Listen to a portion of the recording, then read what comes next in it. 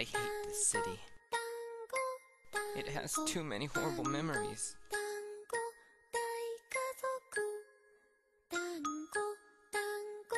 Memories I can never forget.